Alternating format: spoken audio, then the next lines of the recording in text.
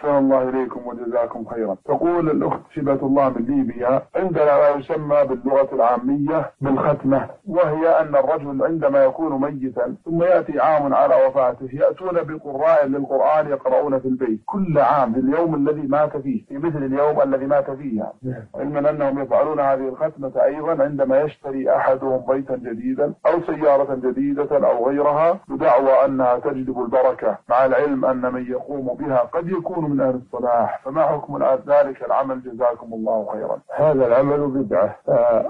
عمل ختمة للقرآن بهذه المناسبات ثم بمرور عام على موت الميت واعتقاد أن ذلك ينفع الميت أو ختم القرآن عند نزول البيت أو شراء السيارة. كل هذا من البدع المحدثة التي ما أنزل الله بها من سلطان. والمطلوب منا أن نقرأ القرآن وأن نتلو القرآن وأن نداوم على قراءته من غير أن يرتب له ترتيب ووقت خاص أو مناسبة خاص وهذا لا ينفع الأموات لأنه غير مشروع بل هو بدعة. وما كان بدعة فإنه يضر ولا ينفع. وإذا كانوا يريدون نفع الميت فإنهم يتصدقون بهذه النفقة التي ينفقونها على الختمة وعلى القرى يتصدقون بها على المحتاجين بنية الثواب للميت وينفعه ذلك بإذن الله تعالى. نعم.